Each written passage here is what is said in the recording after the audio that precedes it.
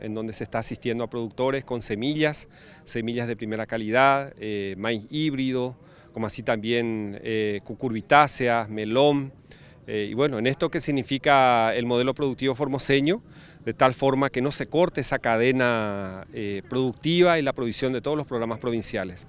Nuestros productores de paiperos hoy son los que aseguran justamente la provisión de alimentos para todos estos programas. ¿Cuántos, ¿Cuántas colonias y cuántos productores aproximadamente son los que se benefician? Acá en este punto se están beneficiando casi 12 colonias, después tenemos en Villa Lucero, se, se toma como punto también la asistencia a otras colonias y también eh, Colonia El Paraíso.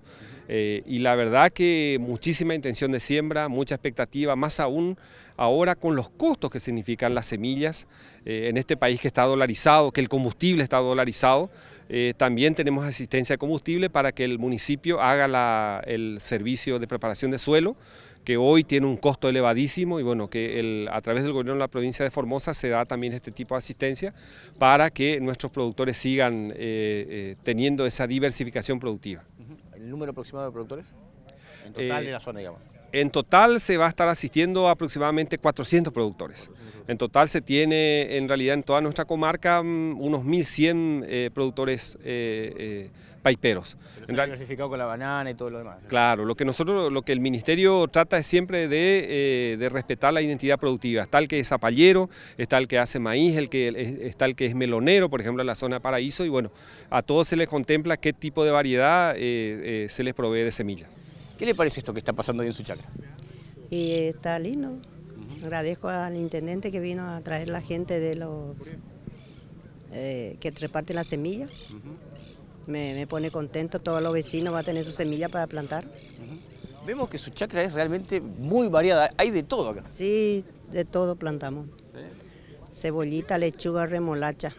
Tenemos acá, después tenemos allá parte de la chacra que me dio mi papá, tenemos batata.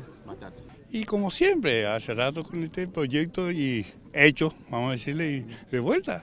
Como, como siempre, el gobierno presente con los productores y los productores presentes con los bienes acá. Un encuentro y contento, sí, por la cantidad de gente que de verdad que quiere trabajar. ¿Sirve esto?